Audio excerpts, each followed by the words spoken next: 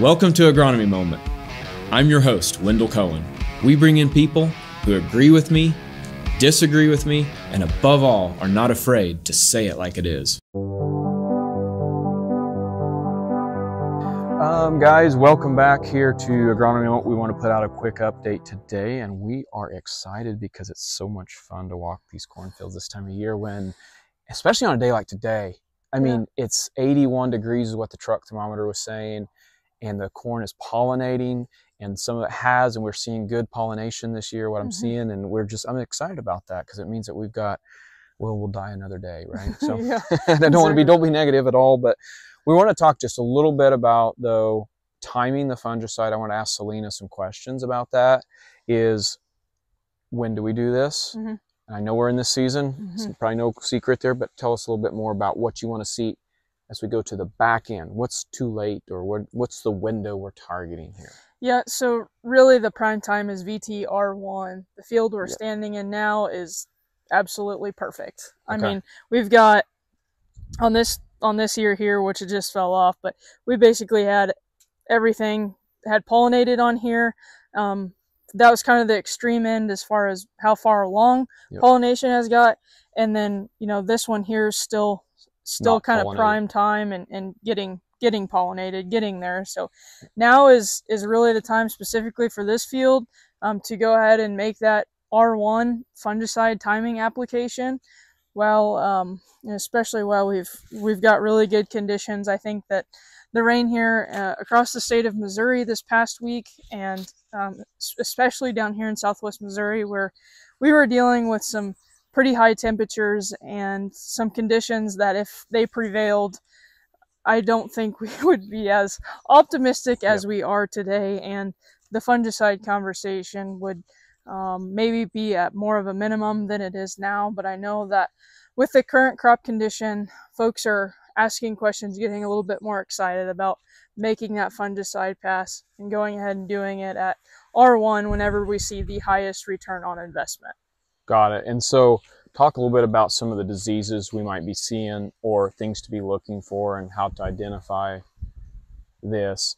Um, yeah. What's so a lot of a lot of what I've been seeing recently has hasn't been much of an alert as far as its severity. Um, but gray leaf spot is typically one we're we're always going to deal with as, as far as from a foliar standpoint, and that's going to look like um, these rectangular lesions here on the leaves, and these are most generally speaking just seeing it on on the lower canopy but once we start to see these lesions and when they start to add up to about a quarter quarter size like a quarter um, size like a that- coin. a coin Yes. yeah that's that's when on the ear leaf Yeah. or the leaf below the ear leaf is when we need to maybe consider going ahead and, and doing a fungicide pass for gray leaf spot.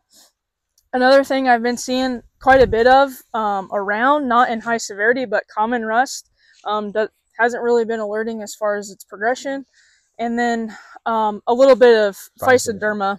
um, around just these black black spots um, kind of along the, the mid vein here on the corn leaf. And sometimes we also will see that kind of on the shank and then on the stalk as well so those are some of the, the diseases I've been seeing a little bit more of.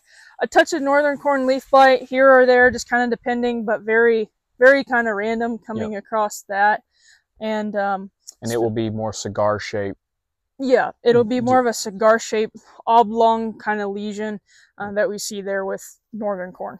Tell me, tell us a little bit. Okay, let's go and let's shift into a few weeks ahead. That could happen is you know the southern rust coming in. Let's say we get some southern Gulf storms. Mhm.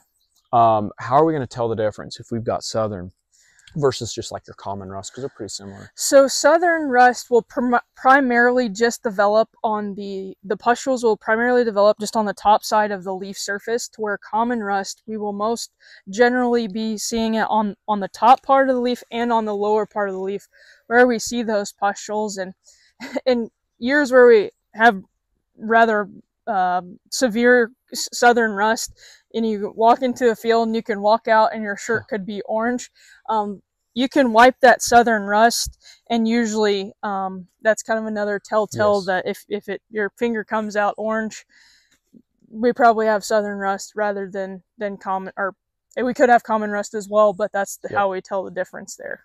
Got Yep. it. Okay.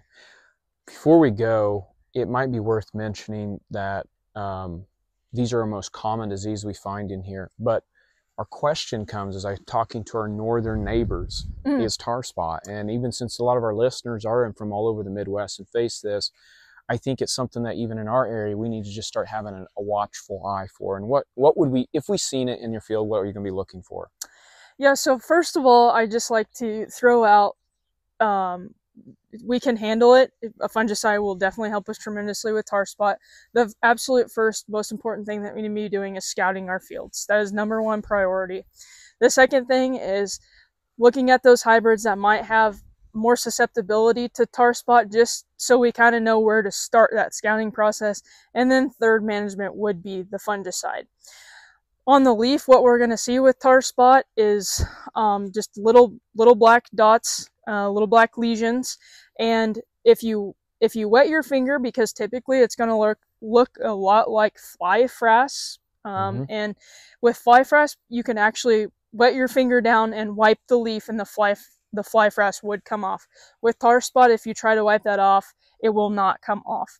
So Okay. um, that's one of the ways that we can tell it's there. And also, if you need help, if you need help with identification, um, please con please contact us and let us know, Yep. um, and and we can come out and help. And even if we need to send leaves off to a pathology lab, we can do that as well.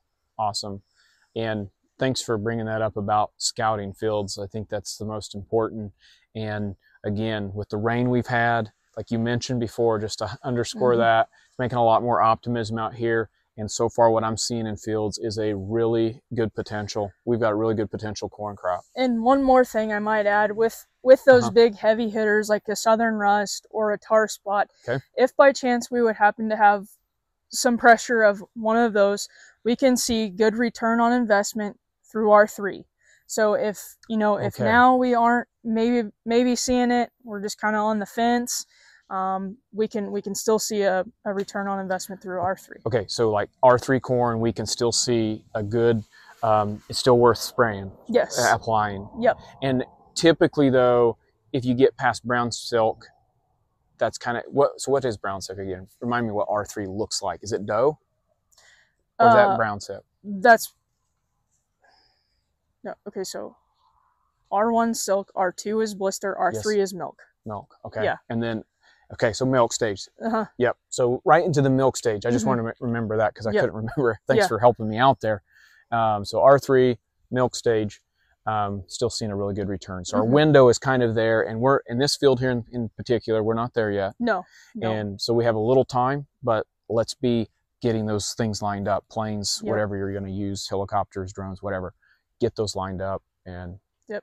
Make Trying to be proactive as possible. yes because they those guys got a lot on their plate right now Yes. Exactly. so all right guys thanks for watching um, there should be a soybean video that we've done that should either be tagged behind this or i'm going to put it in the link so you it can grab it. may or may not have bloopers. and that's up to you to find them and let us know your comments on how bloop the bloopers were. So, all right, thank you for watching. Watch out for that soybean video too, because we got some stuff. That's them. Them beans are moving fast, yeah. and they're they're moving along in their stages um, because of all the heat and everything we've had. So, Mhm. see ya.